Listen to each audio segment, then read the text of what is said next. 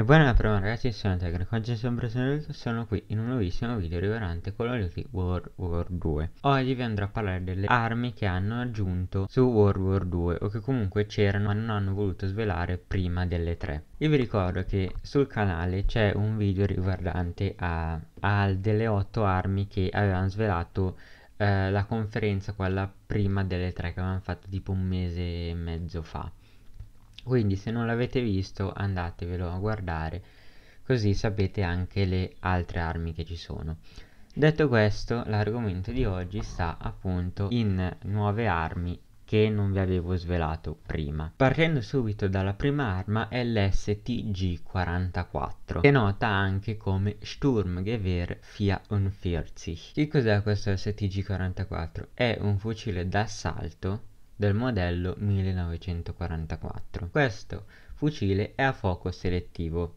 ovvero può essere automatico o semiautomatico. È stato utilizzato dai nazisti ed è stato anche sviluppato da Ugo Schmeisser durante la seconda guerra mondiale. Questo STG-44 è il modello base di tutti gli odierni fucili d'assalto è anche conosciuto sotto la denominazione di MP43 e MP44. L'STG-44 fu la prima arma di successo del suo genere. L'idea di questa arma ebbe profonde ripercussioni sull'industria bellica nel dopoguerra. Fu concepita attorno a una munizione per quei tempi rivoluzionaria, perché era intermedia fra quella di un fucile e quella di una pistola in modo da permettere ad ogni soldato il tiro automatico efficace, controllabile a tutte le distanze di combattimento. Quest'arma è nata per colmare il vuoto tra il K98K e l'MP40, ovvero tra i fucili e le pistole mitragliatrici, compiendo il suo dovere alla perfezione in particolar modo sul fronte orientale, perché offriva un raggio d'azione superiore a quello di una pistola mitragliatrice, in grado anche di mantenere la cadenza di fuoco giusta. Purtroppo giunse troppo tardi eh, sul fronte della guerra, perché mh, mm, se fosse stata mm, inventata prima poteva influire sulle sorti del conflitto. Fatto sta che comunque rivoluzionò le tattiche e il ruolo della, fante- eh, della fanteria, conferendo ad ogni singolo soldato una potenza di fuoco senza precedenti a tutte le distanze di combattimento. Passando alla seconda arma che vi andrò a parlare oggi, è un'arma leggendaria, eh, penso che tutti la conoscono, ed è l'MP40. Su Black Ops 3 aveva il nome di HG40, ma il vero nome è l'MP40. MP40 perché l'MP sta per Machine and Pistole, ovvero pistola mitragliatrice. 40 è del 1940. È stata inventata dai tedeschi, progettata da Heinrich Vollmer ed ebbe una notevole influenza sulle pistole mitragliatrici durante il conflitto, sia per la produzione, che all'epoca eh, queste pistole mitragliatrici erano avveniristiche, ovvero eh, si utilizzavano i modelli precedenti all'MP40, sia per l'architettura generale che fissò lo standard della sua categoria. Infatti, le pistole mitragliatrici che vengono dopo all'MP40 hanno come eh, layout, diciamo, una certa somiglianza con l'MP40. L'MP40 deriva dall'MP38 che a sua volta è un'evoluzione dell'MP36. Questo MP36 è un prototipo realizzato dall'azienda tedesca Ermawerke. È stata fatta quest'arma per soddisfare la richiesta del governo tedesco, ovvero volevano una nuova arma automatica. All'epoca quest'arma appariva futuristica perché rispetto a tutti i moschetti automatici del tempo l'MP38 introduceva dei concetti rivoluzionari però era realizzata tramite fresatura dal pieno e con impugnatura in lega di alluminio. Questa impugnatura in lega di alluminio ehm, serviva per controllare il peso, mm, cioè lo conteneva in modo da risultare abbastanza leggera. Dopo l'inizio della seconda guerra mondiale venne introdotta l'MP40 che era un'arma più semplificata nella costruzione ed era più economica. La terza arma di oggi è la Lewis Gun, ovvero la Lewis Automatic Machine Gun, quindi è una mitragliatrice leggera statunitense progettata da Samuel McLean. Però non l'ha progettata tutta questo Samuel McLean, perché infatti l'idea è stata appunto di questo signore.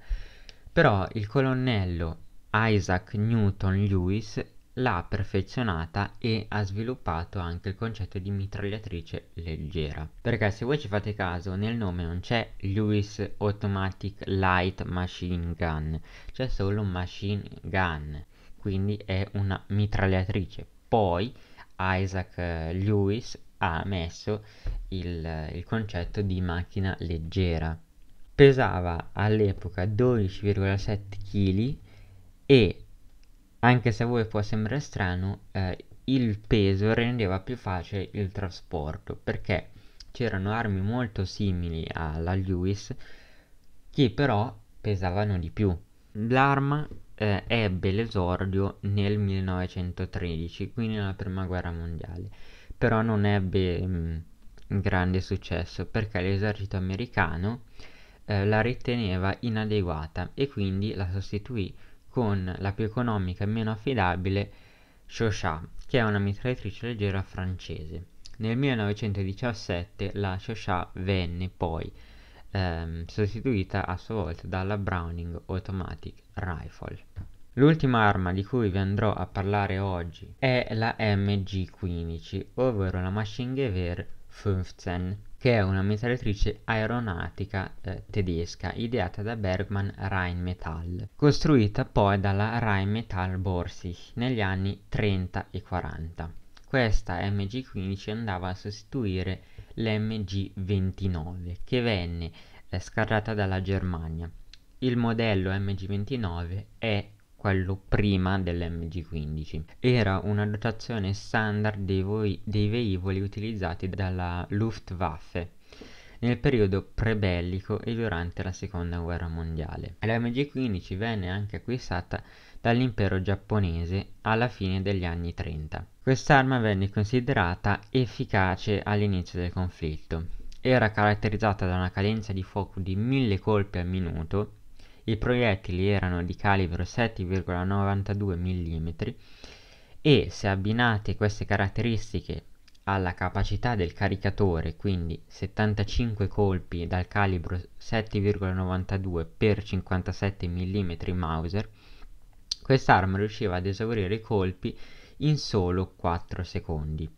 Questo era un grande problema per i mitraglieri, Infatti equipaggiavano oltre all'MG15 anche i borbandieri Junkers Su-88, quindi 88 A1. L'MG15 se utilizzata come arma di difesa, capite bene che se ogni 4 secondi andava ricaricata diventava un vero problema perché in quei 4 secondi venivano lasciati scoperti dei velivoli, quindi la difesa dei velivoli in, per quel periodo di tempo veniva lasciata scoperta. Quindi i, i mitraglieri dovevano decidere se cambiare ogni 4 secondi questi caricatori oppure aspettare che venisse scaricato per metà questo caricatore e svuotarlo. Questo fu un enorme problema perché capite bene che se voi lasciate scoperti per ogni 4 secondi i velivoli ve li abbattono tranquillamente. Per questo motivo l'MG15 venne sostituita dalla, dall'MG81. Però l'MG15 non scomparve del tutto, infatti eh, la, la dotazione della Wehrmacht la utilizzava ancora. All'MG15 infine fu applicato un calcio e un bipiede per poterla impiegare come arma terrestre e equipaggiarla ehm, per le truppe dell'Air. Detto questo, io vi ho detto le, le prime 4 armi delle restanti 7 detto questo io spero che il video vi sia piaciuto. Se è stato così lasciate un pollice su.